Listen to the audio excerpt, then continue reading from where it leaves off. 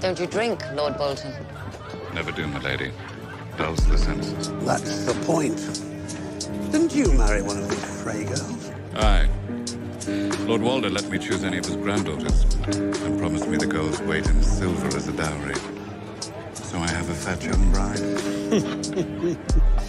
I hope she makes you very happy. Well, she's made me very rich.